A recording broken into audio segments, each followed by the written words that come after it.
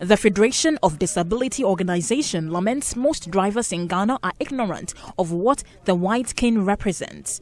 President of the group, Alfred Tebian Ponsa, bemoaned the lack of respect for the white cane, which makes it difficult for the visually impaired to navigate with ease.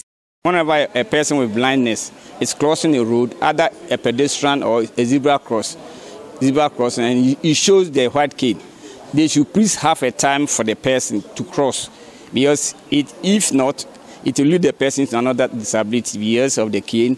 People are not respecting the cane. And on the 15th uh, October, it was, it was International White Cane Day uh, throughout the whole world.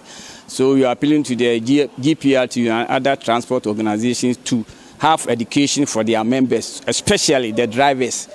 Meanwhile, the Calvary Charismatic Church has donated 100 technology assisted white canes to the Ghana Federation of Disability organization.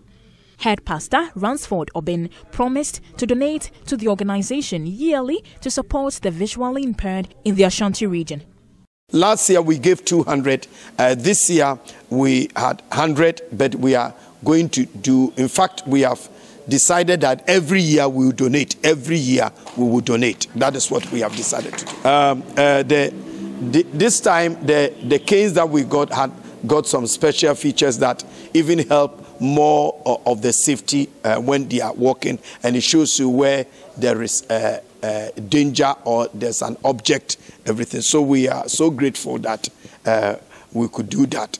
Members of the Ghana Federation of Disability Organization expressed gratitude for the gesture. Anita Sewa Ajuga's report read to you.